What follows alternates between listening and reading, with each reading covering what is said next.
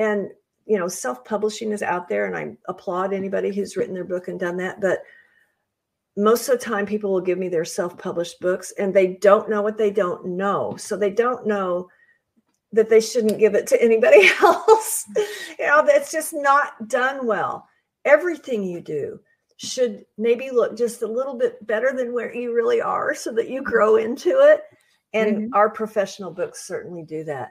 But anybody who wants to attract a, a to get out of your own little circle that you're already in so that you can attract people from other people's circles and would would benefit from this